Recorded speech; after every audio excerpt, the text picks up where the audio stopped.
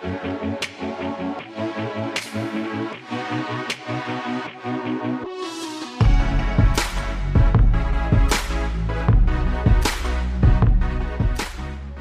what's going on, everybody? Welcome to another edition here of the Football Guys DFS Power Grid, all presented to you by rotogrinders.com. We've got all four of us back together again. Of course, I'm Dan Back. We got Devin Knotts, Tip and Pick, and Mr. Phil Alexander. Uh, for various reasons, we've missed shows over the last few weeks, but I'm happy to be with my guys back. And uh, boy, we're setting up for just a nutty week here in not just daily fantasy football, but all fantasy football. COVID out there like crazy. We'll do our best to navigate you through it. It's Thursday night.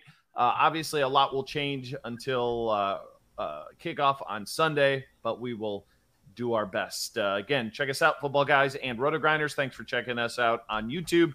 Thumbs up and a comment would be a wonderful, wonderful thing. Let's bring in the fellas here and uh, tip and pick. I'm going to start it with you. You feel, uh, you know, it's you seem like a little loose here today uh, in the uh, in the pregame show. How are you doing, my man? I'm doing well. I'm uh, on vacation from work, uh, end of year vacation, so little more time to prepare. And Lord knows I needed it coming into the night. There's uh, there's a lot going on uh, in the world of COVID and injuries. Week 15, uh, it's all coming together, and um, you know, feeling good about uh, about vacation. We'll see how I feel about uh, DFS. It's been a, it's been an interesting day of research.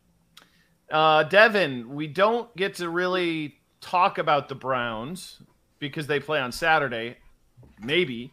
Um, but just your thoughts on that game here, real quick, for the people who are catching this show uh, here on Friday or Saturday before the actual game. You're the Browns fan. You're kind of plugged in over there, and just absolute madness, it seems. Yeah, it's crazy. So I, I mean, realistically, this could be. It's going to get to a point where like maybe there ends up being value on taking some of these Browns players if you're playing on like a Saturday slate because so many people are just going to be off of them completely. I was joking before the show, but Nick Mullens might be their best quarterback on that roster. You know, he's at least a gunslinger who's not afraid to throw it down the field. Um, so maybe there's some value there. We we've seen him with tight ends in the past with him and George Kittle hook up for a couple times in San Francisco. So I, I'm cautiously optimistic. Everyone knows how how much I hate Baker Mayfield. So let's let's jump into this. Okay, okay. Uh, real quick though, Vegas minus four right now. it's gonna. Keep, I'm not touching it yet because it's gonna keep going. The money's gonna keep coming in on Vegas. So, so you're you're waiting for the Browns. That's to right. Go yeah. To go, okay. I think it gets to five and a half, five, five and a half, something like that. There should be a disclaimer here that Devin has touted Nick Mullens on this show before. I have, and it worked out. Yeah, he has. He definitely has. So. All right, well, let's get to this week, uh, John. Uh, the you know Vegas lines are kind of all over the map, but um, take us through highest total games and you know spots we need to have on our radar here as we up our prep. Yeah, we're at that time of the year where uh, we, you know, college football is largely over, at least uh, regular season. Bowl games are starting, 44 of them, as I've heard. Uh, so we have Saturday games now, and we have Saturday two Saturday games, a Monday game, and a Thursday game. So the uh, the you know, even though we don't have bye weeks anymore, basically the same number of players in the player pool uh, in this week 15, which I think is the first week of season long playoffs, if I'm not mistaken. Uh, no 50 point games this week, not a single one. The highest uh, Vegas total on the board on the main slate is the Seahawks going over to the uh, Los Angeles Rams Stadium. Um, outside of that, you've got Arizona going to Detroit. And wait, wait, wait, wait, wait, wait. You had that backwards, right? The Seahawks can't possibly be the highest scoring team going to the Rams. I didn't say that. I said it was the highest scoring, the highest uh, total. Well, just ignore everything. It's week 15, and I don't know what I'm talking about. Then I, am gonna I'm gonna mute myself. All right, we we could run it back. Maybe I did say that. I don't know. I've had two glasses. We're not running it back, boys. Yeah, yeah. We're not running. It um, you want to rewind it? You can do that yourself. Yeah, please do, and then uh, give give me a thumbs up. Uh, and then uh, Atlanta going over to uh, San Francisco. Uh, Kyle Shanahan payback game or narrative game, if you like. Um, there, you know, there isn't a whole lot to like on the top end this week. You've got Arizona. Kyler Murray looked uh, pretty good um, in his return last week from from injury, and he's going up against uh, Detroit. And we'll talk about this in in just a moment. Detroit's got some real issues with their secondary because of COVID, um, as does the Los Angeles Rams. So both Kyler Murray and, and Russ Wilson look good for that reason. Um, and then outside of that, you've got uh, Jimmy Garoppolo, maybe on the top end. Uh, the 49ers have a 27.8 implied team total against Atlanta. And um, the Cowboys and Bills are right there at about 27 and a half. Uh, as far as things go, it's very similar to last week. Not a whole lot of high end teams scoring over 30 points, at least not from uh, from Vegas's perspective. That said, this is a really interesting week. Forget Vegas with COVID, with injuries, with playoff situations. It's going to be a, a week where I think there's probably an edge to be had, but it's going to require some work, um, some some diligence, and um, you know you're plugged into the right folks. Be sure to be reading articles. Roto grinders, football guys will keep you updated, and the later you're looking at those things, the better. Absolutely. Uh, I think the early morning shows are going to be of vital importance and, uh, you know, Saturday night stuff as well, because once we get that Friday injury report, we'll get a little bit more clarity. But uh, some some changes in the COVID um, protocol as well here. So I don't think we're going to have full clarity until we probably get inactives on Sunday morning. So uh, be ready to pivot. Okay, we're going to jump in to the quarterback position. Phil, I'm going to get to you in just a minute, but we usually save GPPs for last. So I hope you're okay. Um, that you haven't spoke, you're good. Okay, Devin, we're leading it off with you at the quarterback spot. Um, one position that you know I think you know depending on how the injuries shake out, you know, could be a spot where uh, you know might not be too hard to pay up for the top end guys. Yeah, but I don't know that I want to. Um, just because there's going to be it depend it sort of depends on how the the week plays out but there's going to be some garbage players that are are coming through and i sort of want consistency and i want guys that i know are going to have a role. And we're, we'll talk about wide receivers in a minute but there's there's at least one maybe two top end guys that i, I want to play. So i'm starting i'm starting with Tua Tagovailoa against the new york jets at 5700 a little bit nervous about Jaylen Waddle and his status, but to get a guy against the Jets at 5,700, the Jets, you know, we, we know that their secondary is, is pretty bad. And, you know, Tua, he's been hot or cold this year. I know that John loves him and plays him nearly every week, but um, the, the Jets are allowing 270 yards passing per game. If I'm going up a little bit, um, John might like this one too. I don't know, but 6,500 Dak Prescott going up against the Giants. I think that he's pretty pretty safe. The Giants have been pretty good against the run. They've been horrendous against the pass. I think they're only allowing like 95 yards rushing to running backs this season, um, which is a little bit better than I thought they would be. So, uh, Dak has these games where he's going to break out, and it seems like he hasn't been there recently. I know they've had a bunch of injuries and a bunch of issues through their wide receiving core, but they need to get right here quickly um, as they head into the playoffs. Yeah, and Phil, where do you land on Kyler Murray here? You know, this is a, a game on the road against Detroit, highest implied team total of, of, of 30 points, but also, you know, a potential situation where it's blowout city and we don't get either fourth quarter work or it's just running down the clock. Uh, what's your thoughts on on Murray for tournaments um, against this, you know, Detroit team that's absolutely dreadful? I'm going to have a piece of Kyler Murray for sure. I mean, just from the standpoint of, you know, out of the, the corner of my eye, I'm watching Patrick Mahomes and Justin Herbert. They're not on this slate. Uh, Tom Brady and Taysom Hill are not on this slate. Josh Allen is banged up. I don't know how many people are going to move in his direction uh, until we know what's going on with his sprained foot. You got Lamar Jackson with a, a sprained ankle. Um, so where do you get the the ceiling uh, from quarterback? And and Kyler Murray is the one guy that that does stand out and, and can deliver that ceiling that could win you a tournament. Um, that being said, did anybody else notice towards the end of that game? Uh, what was that Monday night that that they played? That he was kind of limping around a little bit towards the end. Yeah, he hasn't been running nearly as much as he was, but yeah, yeah he definitely walked off the field really slow at the end of that game. Yeah, he was looking kind of ginger. So I wonder if that uh, ankle sprain that he was dealing with, if if he's completely over that, does make you wonder. Um, but yeah, I, I, like Murray just fine in tournaments. I, I think that's probably going to be the decision that that people are faced with, right? Do you pay up to Murray or do you drop down to Tua? And uh, Tua, even though he's he's playing really well in tournaments, he's he's a pretty easy fade for me because, uh, well, where, where does Roto Grinders have him projected, Dan? Uh, he is. I'm looking at about fourteen percent. They've got him as the chalk, but not mm-hmm. much. Like right around Kyler. Something tells me it, it's going to pick up steam. Uh, the more people listen to shows like this, and if, if he ends up much higher than 10 to 12. I'm, I'm probably coming in with about half the field uh, in tournaments. You know, he is missing Waddle, who's his most trusted weapon. Yeah. Uh, and um, that that game total is 41 and a half. I mean, like a 13 nothing Dolphins win would not surprise me.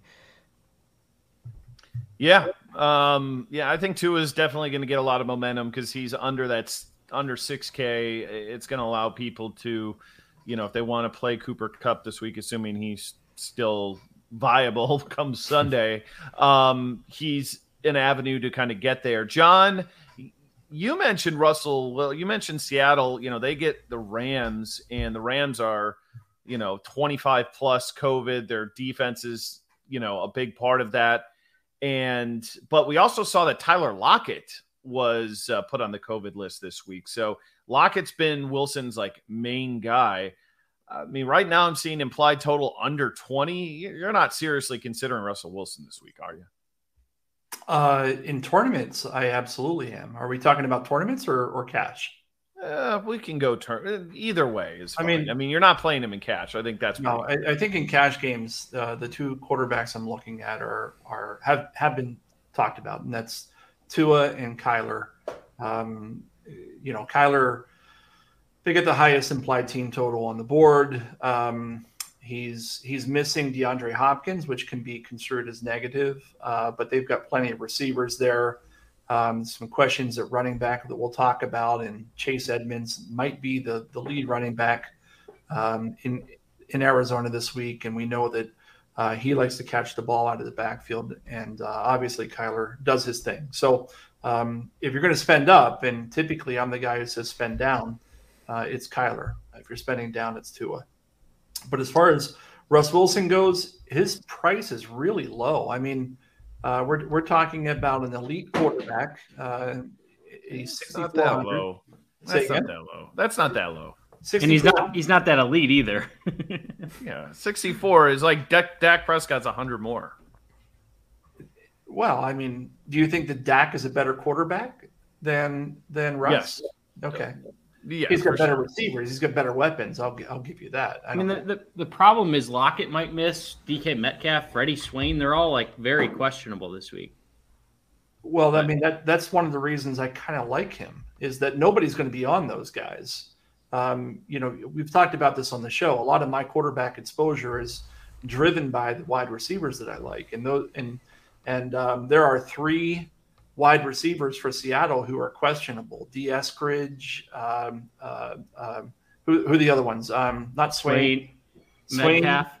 Uh, Metcalf is he, he should play, um, and obviously Lockett is out. But um, somebody's going to step up here. I even put it on the in the what our backroom show sheet that that um, uh, Penny Penny Hart. Let's not talk about Penny Hart, but Penny Hart is a name that that by Sunday morning could be viable. Um, John, you're getting in Ryan Hester territory. Let's move on. I'm, about, I'm, about, I'm, about, to mute you. but um, uh, Metcalf, Swain, and, and Dee Eskridge are all um, questionable as of Thursday night. Um, but let's not forget, and, and this is in in the uh, you know in a bit of the pre-read the Rams have seven defensive backs who are likely to miss this week. I mean, I don't know where they're pulling the rest of their defensive backs from, but but this could be, um, you know, a spot for Russ Wilson to return. And we know DK Metcalf. Nobody likes him right now. I think Devin talked about it last week. Um, that that you know, ever since there was this, you know, uh, well, we won't, won't talk about. We'll keep it PG. But ever since there was this blow up with DK Metcalf a, a month ago, he's done nothing. And without Tyler there to steal that look, maybe it's DK Metcalf and uh, Russ Wilson, and everybody's overlooking it simply because of recency bias. John John also thought the Seahawks were the highest projected total team on to begin this show, so yeah. his notes are all jacked up. I, think, I can't um, wait to play it back. Uh, so I there's one cheapie I got to throw out there, and he has been so dreadful this week.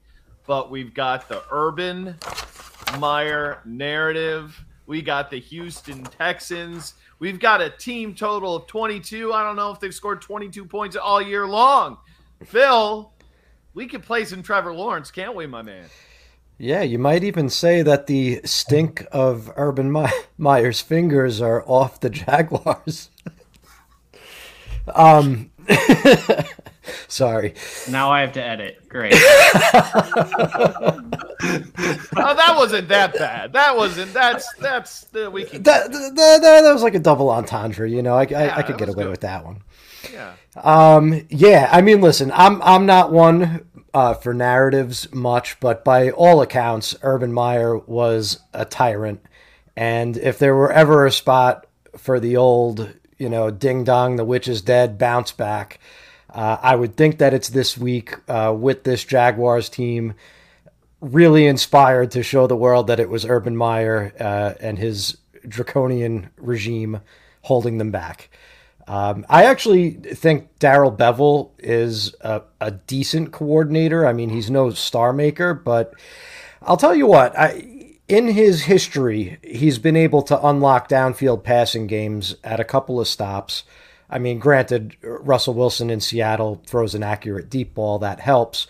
Uh, but when he first got to Detroit, I remember he really changed the offense there and had Matthew Stafford looking good as a, a as a deep ball passer uh, for the first time in a while. I, it, it's just to say that like I don't think Laviska Shenault is going to get nothing but like four yard targets this week. So here, as the resident Jags fan, let me let me run it through you. There's there's two things here to, to look at. First off, Meyer really didn't do anything. Like, and I and I mean that like he didn't call plays. He didn't really. I don't think he did much of game planning. I don't think he did much of anything. He so, didn't. At, he didn't at Ohio State either. Yeah, he, yeah. He so like, like I don't know like him being gone is going to suddenly like make them better. But on the flip side, I'll say this I've never seen a team lose their coach and Vegas gives them more respect because they were at they were a three point favorite. Now they're up to five point favorites in this game. So the line is swinging heavily towards the Jags.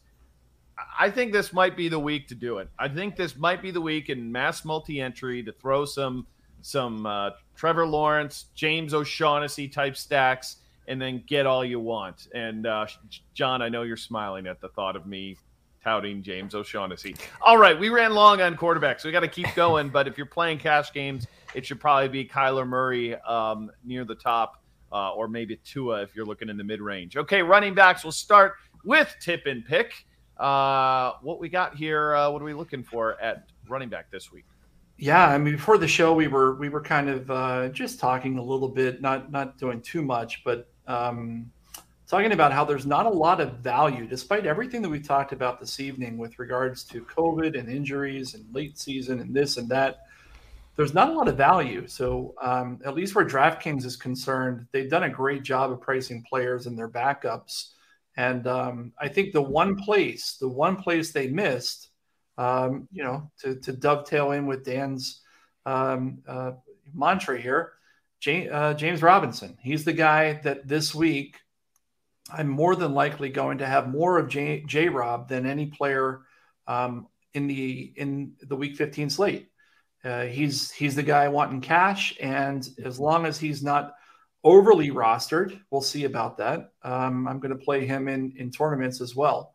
Uh, as of tonight, I've got him at 27% likely to reach GPP odds, which is nearly double the next closest running back. Uh, the other running backs I'm considering for cash are Najee Harris at 7,800. I don't know if I'm going there. I think I'd rather spend up on Cooper Kupp at 9K. We'll talk about wide receivers in a, in a moment. Um, still some questions. What's going to happen in San Francisco? They've obviously got a great matchup against Atlanta. Uh, but if Eli Mitchell comes back, he's going to be um, a, a, popular player for cash games at 6,200. And then uh, we talked about this before the show as well. Uh, Phil, I agree with you. I think if Chase Edmonds is active this week, he could be one of the better plays, not only in cash games, but also in GPPs at 5,100 against Detroit uh, with James Conner likely not to play. Love that call. If Conner's out and Edmonds is in um, against Detroit, that's a total smash spot right yeah. there. You know, that's a that's almost a plug and play if that scenario plays out just like that. Um, Devin, any more thoughts from you on you know, yeah, cash John, and then going John, to GPP a little? John must have missed the news that Darrell Henderson's on the COVID list because Sony Michel's the top play this week going up against Did Seattle. he be coming off though? It's been like two weeks he's been on the COVID list. Yeah, he's, still he's, he's still on it, and it seems like he's not going to come off. He's been he's been on for like as of today. I think he's been on for seven days. So I I uh, I'll look at this. You go ahead and talk. Yeah, we we look look it up. But the latest that I'm seeing is that he's still likely not going to play. And if I'm wrong on that, it wouldn't be the first time that I'm wrong. So go ahead and correct me. But Sony Michel is the top guy if Henderson is out this week. Um, without a doubt, I think he becomes mega chalk. Antonio Gibson is a guy that I'm looking at going up against Philadelphia.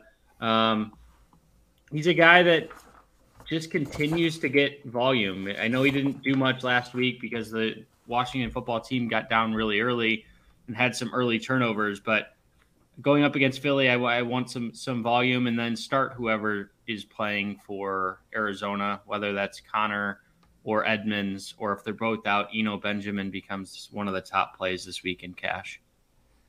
We uh, again Thursday night, so things change. We are currently projecting um, Henderson in, yeah. um, and fairly chalky as well at like 18.5%. Again, I wouldn't put much stock in ownership proje- uh, projections here on a Thursday night, but um, at least our team thinks there's a pretty good chance he's going to play. So he was we'll, he was added to the COVID list on the 11th, which was effectively by the time this show goes live, it'll be six days.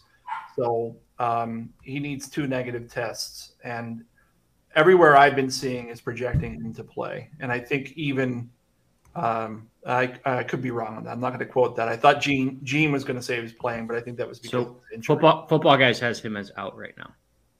Okay. Whoa, football so, guys versus roto grinders. Who's going to win? We'll find out come Sunday morning. It, no, it's, it's just we know absolutely nothing. we know point. absolutely nothing. So but, you know, I so, think they're like, both real good quick, plays, but real quick, does Doctor Jene Bramel is he like does he have infectious disease doctor knowledge as well? Like, can we can we rely on him on on COVID timelines, John? Uh, he's he's this guy is brilliant. Um, so yes, yes, we can. Um, Certainly more than great. any of us except John. So yeah, he, he knows he knows his stuff. The problem is with COVID, like you could be out three days, you could be out like a month. Who knows? So I'll, I do not know. Still never forget texting John in I want to say it was like February. I was like, "What do you think of this COVID stuff? You're the scientist." And uh, here we are many years later, and it's still affecting all of our lives and certainly uh, lots of fantasy football news here. Phil, well, I, I had my uh, different tab up, so I heard you ruffle a black eyed Joe, but I didn't see which one it was. So, uh, what did Devin say that you either agreed with or disagreed with? And then uh, go on some more tournament running backs for us. Sure. The uh, the black eye Joe ruffling was on Antonio Gibson uh, last week's busted chalk. I think we're going to get at least a slight ownership discount on him this week because of that. Uh, and I think for all the reasons Devin mentioned, he is a good play. It, it does look like J.D. McKissick is unlikely. He was uh, held out of practice on Thursday, still with the concussion. That's not a good sign. Uh, and in McKissick's absence, Gibson has run routes on 67 and 64 percent uh, of the team's dropbacks. I just feel like he's got a multi-touchdown game bubbling underneath the surface. Um, he's carried the ball 71 times over the last three games without finding the end zone. That just doesn't happen uh, for a guy with Antonio Gibson's skill set. Um, overall, uh, w- with running back on this slate, my, my notes are not very useful because the first one says that the position is not worth discussing until 11 a.m. on Sunday. Um, and, and while that may be true, I know that it doesn't uh, do the good folks out there a whole lot of good, but. Um, you know, we've talked about it. Myles Gaskin is on the COVID list. Elijah Mitchell with a concussion. We don't know what's happening in Arizona. Uh, even in Seattle, where Alex Collins went on the COVID list, uh, freeing up more work for Rashad Penny. We also don't know what's going on with Adrian Peterson. Uh, you know, is he going to take that Collins role or is it going to No. be all Penny? We're really talking about Seahawks running backs. Hey, look, Rashad Penny was uh, he was a tournament winner last week. What, are- what you know, what are you going to do? Um, Javonte Williams has a knee injury. Aaron Jones has a knee injury. We don't know what's going on with Darrell Henderson. I mean, th- this position is completely in flux. Uh, you know, I, I really don't have much more to say about it than that. Besides, what's obvious to me is Gibson is a good play and James Robinson is a good play as of Thursday. Okay, I'm gonna ask. Let's see. Let's go to John with this one. So I'm gonna ask you a question. Who is the worst rush defense in professional football? Oh, I mean, off off the Off the top of your head, like who do you think is the worst? One of the worst. If It's you don't want to answer, obvious. who is it, Devin? New York Jets. The New what York would've- Jets. That's, that's exactly right. Oh, And would've we're in a gotten that right. situation here with Miami where they, they really don't have a single running back on its current roster. Like it, it conceivably could be Duke Johnson week, boys and girls. It could be Duke Johnson week. Dan, you're gonna get muted now. Well, he's on the list, Dan. He's on the list. No. I, I, I'm just no. I mean, everybody versus the Jets does well, and if there's nobody else, why can't we play Duke Johnson this week, or whomever that person is? If it's not, maybe it's Patrick So- Laird. No, we're not going to do that gimmick again. Um, Gerrid there was Doaks? Some talk. Gerrid Doaks. I mean, I'm just saying it's the worst rush defense out there. So from a matchup perspective, whoever's that number one is going to have opportunity. Fourth or fifth running back on the Miami Dolphins, you're a very, very bad running back. I've seen this guy get so many chances in Cleveland as like the number one guy, and he would always have like eight or nine carries. They never increased his workload. Duke Johnson is an absolute no for me. All right, can we? Uh, uh, it, it's, ahead, John. It's, it's debatable. I, I don't know. I'm I'm gonna I'm gonna switch the topic from Duke Johnson. Um, Yeah. By the way, by the way, real quick, this is what we have on uh, just real quick on Miami. This is their running backs uh, on DraftKings. This is quite the sign. COVID nineteen next to Gaskin, Lindsay, Ahmed, IR next to Laird and Brown, and Doaks has an out next to him. That's that's what you got. You got six running backs with red squares, and then Duke Johnson.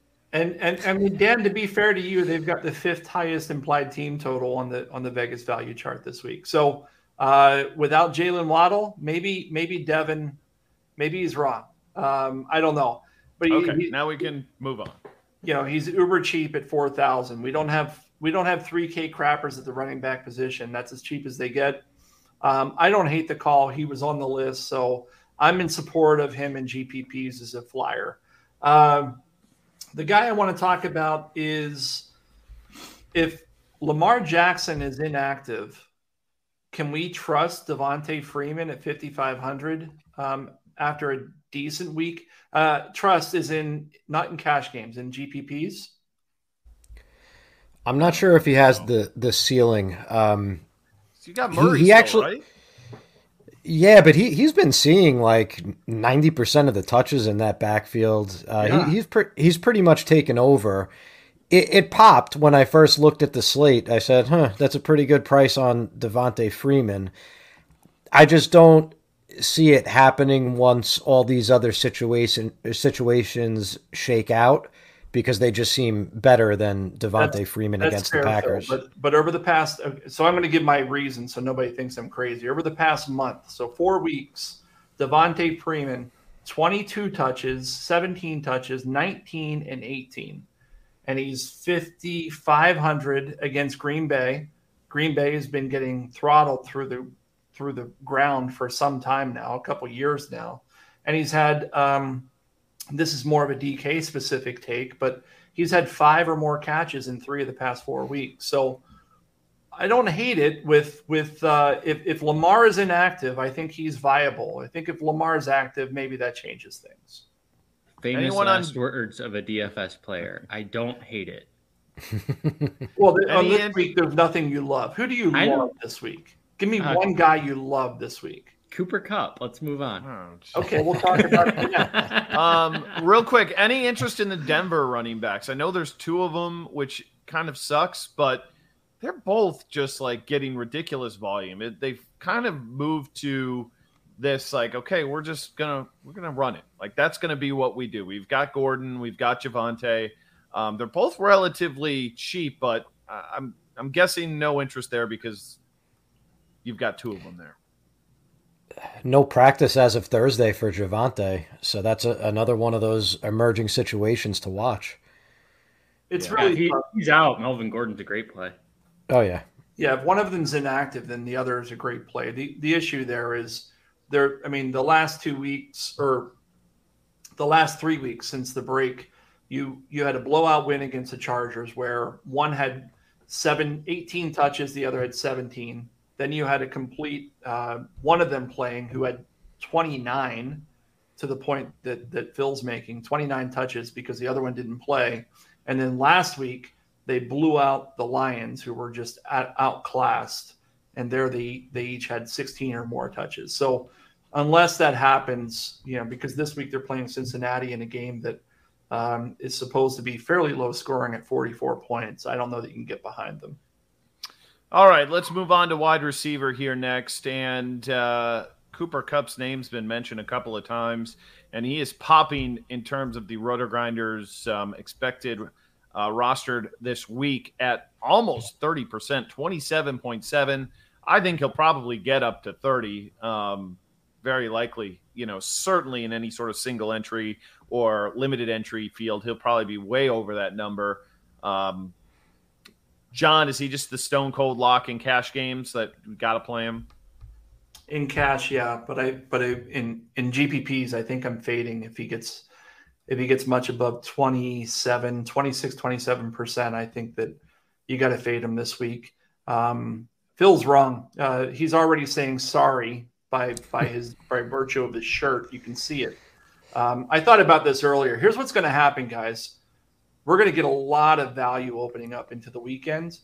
And that 30% that you just talked about, Dan, I think it's going to approach 40%. And no player at $9,000 should be 40%, period. And I'm likely going to be under Cooper Kupp uh, in GPPs. In, in, cash games, absolutely lock them in because you're going to get all the value you want elsewhere. But uh, there's a very real possibility this guy doesn't return 30 points. And if he doesn't return 30, then he's not worth it. And um, hand it over to Phil to tell me why I'm wrong on that. Well, because he's gone over 25 in 70% of his games this season. And if he comes in between 30 and 40%, that's that's double his his roster number. I mean, look, the the goal of the game in GPPs it, it remains the same as in cash games. You want to outscore your opponents. Um, Kupp should be ten thousand. I, I, don't know why he's not. No, I, we'll, yeah, I'm we'll, surprised. I, I, mean, I'm surprised he's not higher too. I thought he, he should be higher. Yeah, he should be higher, um, and people would still play him. That's why he should be higher. I don't. There's also that. there's also no Odell Beckham this week, presumably, uh, assuming he can't make it back. Uh, like you said, the game's got the highest over under on the slate. I mean, why isn't he going to get 15 targets and do Cooper Kupp things all over the Seahawks? Yeah, that's the thing. Like, even I just think the volume on DraftKings in particular just makes him a can't miss. I mean, there's It's like his floor is so high, even for tournaments on this week. Like, I don't have a problem if there's lots of ways for us to go to to play Cooper Kupp even in tournaments because I think there's definitely ways to get unique this week. So there's here's a key question before we yeah. move before we do anything else. At what point is Cooper Kupp a bad play in terms of ownership? I, I think it it's it's not him individually. I think it's like how much other chalk do you have? If you're playing Kyler Murray or Tua with Cooper Kupp, I probably wouldn't be as interested in it. But if you're playing like Trevor Lawrence at like two percent ownership, who cares if you've got a a 35 or 40% Cooper Kupp? Doesn't really matter. I think it's all about total ownership.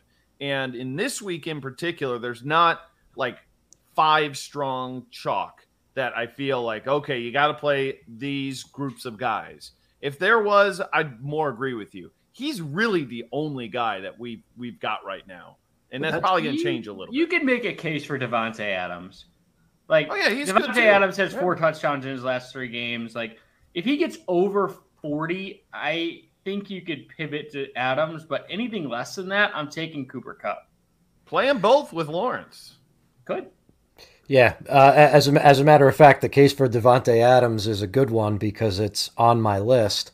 Um, where do we see? Where do we? See, yeah, where, where do we see his uh, his roster number checking in? Probably around half of Kupp's, somewhere in that neighborhood. Uh, less than that, uh, about 10% to Kupp's 27. Yeah, I'm about 13, so in the same ballpark. All right. So All right. Go I'm going to I'm going to call it 15 or 16 and and go on the high side and say that that is a a, really good pivot off of Kupp. Because uh, everybody's going to spend the uh, extra hundred bucks.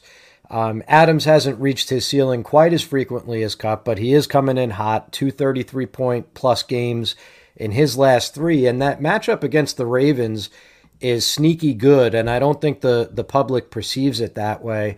They're going to be down three starters in the secondary, and they've allowed four 100 plus yard receiving performances, uh, two wide receivers since week 11.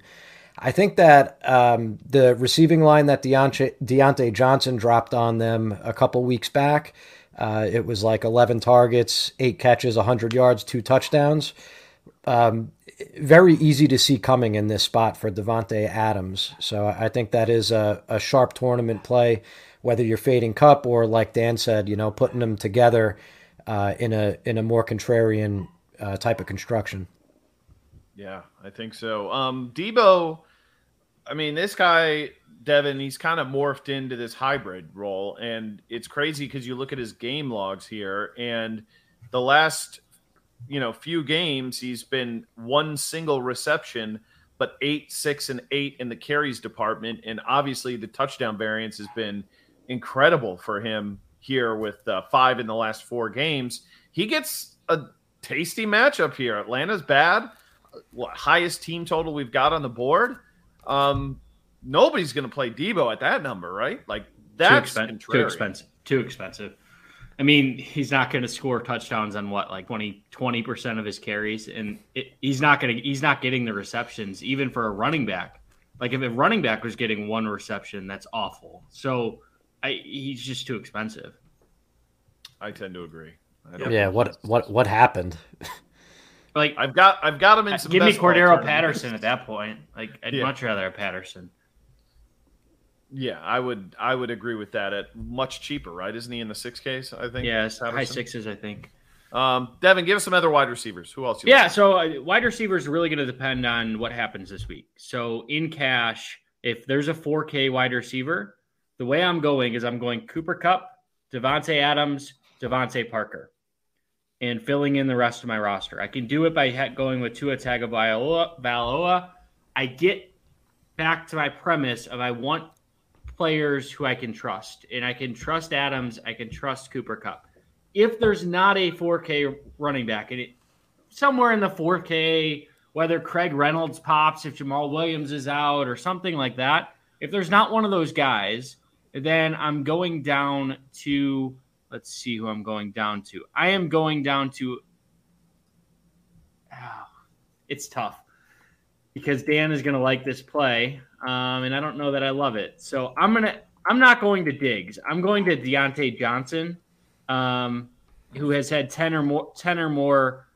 Uh, Phil, we're getting a lot of background noise, but uh, ten or more carry or ten or more targets in like six or seven straight games. So I think as a cash game play, I want targets. I want consistency. I want consistent points. Give me Tennessee's run defense is really good give me Diontae Johnson in. Am I the only guy that felt that you just gave that pick out of spite?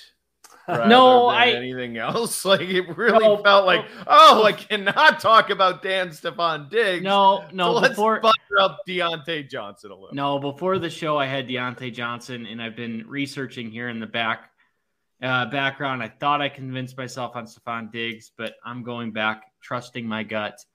Um, it's a very large gut. So I'm going, I'm going Diontae Johnson. I hope that there's a 4K running back because I'd love to play Cooper Kupp and Davante Adams. Uh, Duke Johnson's just waiting there for you. Um, Gabriel Davis. Uh, it looks like Emmanuel Sanders is out. He's 3,700. He's kind of popping for us early as the kind of value chalk at this position. Um, and DeVante Parker as well, you know, with potentially not having uh, Jaylen Waddle there. Um, John, anybody else on your radar here that uh, think could be a little sneaky? Uh, in terms of sneakiness, uh, probably none of the guys you you have mentioned.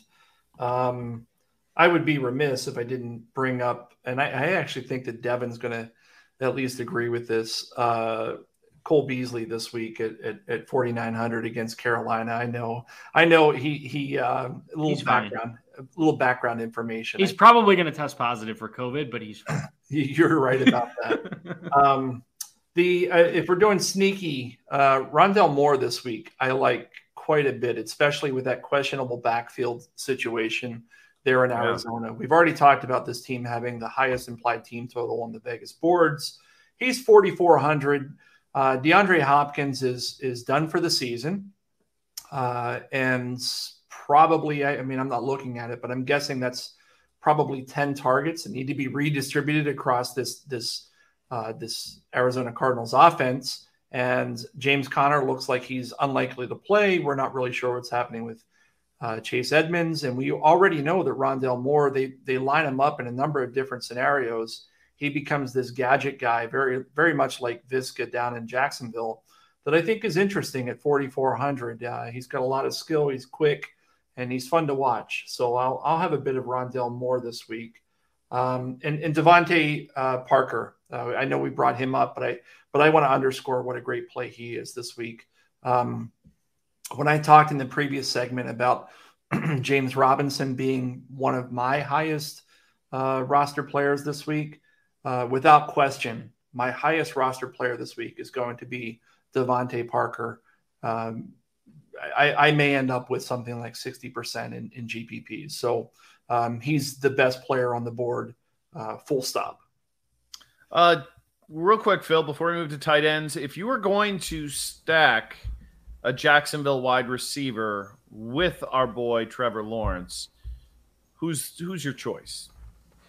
That's a tough question uh, because I actually like them all a little bit. Um, so maybe that means that I'll be looking to double stack them and just go, you know, full. Oh my god! Pan, pants off Trevor Lawrence lineups. uh, and spend but, like uh, 4K under the cap because.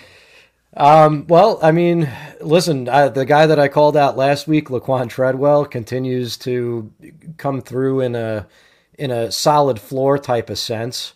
Um, I, I, do think that that he's running enough routes and he's involved enough in the offense that um, he he could get it done again. And and Marvin Jones actually projects pretty well, uh, also. So I like both of those guys. Just um, real quick, some other names that I had jotted down for GPPs. Um, I think DJ Moore is going to go overlooked. Uh, because nobody wants a piece of the Cam Newton passing game on the road in Buffalo. Uh, but they are without Tre'Davious White uh, in their defensive backfield. Uh, Tom Brady, even though he's Tom Brady and not Cam Newton, uh, had no problem carving them up last week And DJ Moore in the three games since Newton took over, target shares of 26%, 32%, 29%, and leads the team in air yards. Um, I, I, think he'll finally not be popular this week, so I do want to play him. Uh, Tee Higgins, what what does T. Higgins have to do to get on people's radars? It, it was really weird. Like everyone was playing him while he was putting up like six catch, 50 yard receiving games. And over the last three, since he's gone six for 114, nine for 138, and five for 114, nobody's playing him anymore. Um, I don't know. He's the hottest wide receiver in the league this side of Kupp and Adams. Uh, and I wouldn't be shocked to see him go sub 10% in he's tournaments. A, he's the FanDuel chalk. FanDuel refuses to bring his price over 7K. It's an absolute disgrace to pricing. His price has gone up on DraftKings, though. I, I, I liked him. I loved him. You just said an absolute disgrace to pricing in the most serious tone. It's ever. true. uh, all right, let's get on to tight ends here, which is there's not much here. Um, we'll see about Kittle. We got a questionable questionable tag. He did practice, so uh, maybe a good chance that he will play. And he's been just a target monster 12 and 15 each of the last two weeks, but the salaries are all the way up to 7,500, but a good matchup there versus Atlanta. Um, John, um, there's plenty of guys in this middle tier, and I, I haven't looked yet, but Mike Gesicki, if all these guys are out, might be a really, really good play this week at 5K. Well, you just saw the uh, the yellow black eyed Joe. He, he's the best play at this position this week for for cash games. He's the only guy I'm considering. Um, there are there are other guys who are in that neighborhood, but given what we've talked about already about Jaylen Waddle being out and Miami being ten points uh, favorites over the Jets, it's it's Gesicki and it's really it's nobody else. I mean, if you want to go lower, Gerald Everett and Tyler Higbee um, come out high on the model. Uh, but the, and those are guys that I that I have marked as GPP plays because they're going to be less popular.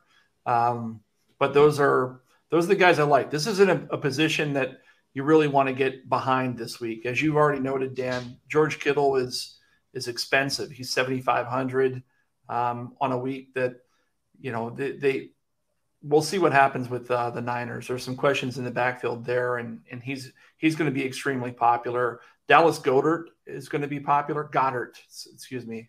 It wouldn't be a show without me mispronouncing somebody's name. Goedert's going to be uh, popular as well, and I think he's a fade for tournaments. But um, you know, there there are a handful of guys tonight that I like, um, and I've talked about them: Gesicki, Everett, Higbee, and it wouldn't be a show without me mentioning uh, somebody Dan's already talked about, and that's James O'Shaughnessy. I thought for sure we were getting a John throwback with CJ Uzomah. Nope, you didn't get him, and he's disappointing. Yep.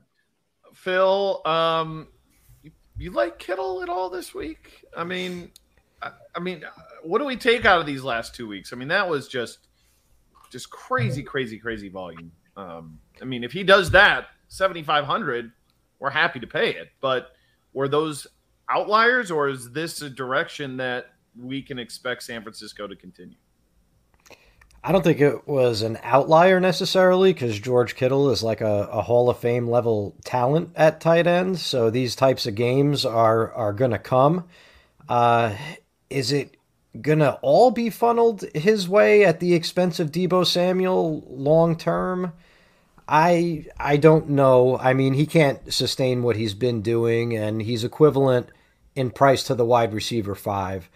Um, so my gut reaction was he's too expensive, uh, especially with some of the other value that's on the board.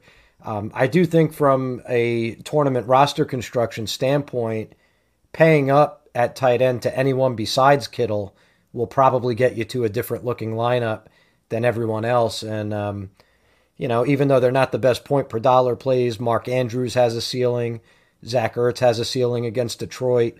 Uh, wouldn't be the power grid if I didn't talk about Kyle Pitts, who has a theoretical ceiling, at, at, at least. In what in what year? um, My, my my top play at the position though is Tyler. Well, it is Mike Gesicki uh, since the Jaylen Waddle news, but before that, uh, it was Tyler Higbee. Uh, again, presumably with Beckham sidelined, you you could see uh, a a spot where he's in the number two chair behind Cooper Kupp. Um, he hasn't had much of a ceiling this year, but he's been steady. You know, he's he's involved in that offense, and uh, there is upside this week with the opponent being the Seahawks. Uh, they've allowed 76% more uh, PPR fantasy points to opposing tight ends than league average over the last five weeks. Uh, one of Kittle's huge games came against them. Uh, Zach Ertz put up two touchdowns and, and eight catches for 88 yards. Uh, last week, uh, a guy who was in my article, cheap plug, uh, what's it called, GPP domination on uh, on Footballguys. Uh, Brevin Jordan appeared in that article. He went for seven targets, four catches, 26 yards, and a touchdown. By the way, I think he could probably do that again against Jacksonville if you want to go dumpster diving. Um, but I, I, think Higbee's in a really good spot. You might as well play him with your Jacksonville double stack while you're at it, right? Let's just there you go, go run it back, baby. uh, Devin, uh, final final thoughts on tight end? Yeah, the best play this week is Gerald Everett. We talked about the wide receivers in in Seattle. I think a large number of these guys are not going to play. They have nothing to play for. I think it's going to be 3,500. Gerald Everett getting these short dump off passes as Russell Wilson tries to move the ball down the field. I don't think he's going to be very chalky either. So, you know, good spot for you. Um, should be interesting to see uh, how this week plays out. Again, a lot of information we're still waiting on. Team defense, uh, man, I mean, Detroit, they're so bad. Like, we should just play Arizona, right? I know it's 4K. Nobody likes to, to, to spend up, but Detroit is so bad. You take Hockenson out of the mix, of course, now for the season. Give me Arizona. You can afford them this week. Uh, yeah. There's going to be plenty of value. Uh, I guess the question is, I mean, you're on some on some point. You're you're right, Dan. What DraftKings is doing right now, I can't speak to to FanDuel, but DraftKings is is raising the floor uh, in terms of their cheapest defenses. So, you know, you got you got the Ravens, Giants, Jets at 2,500. It used to be 2K.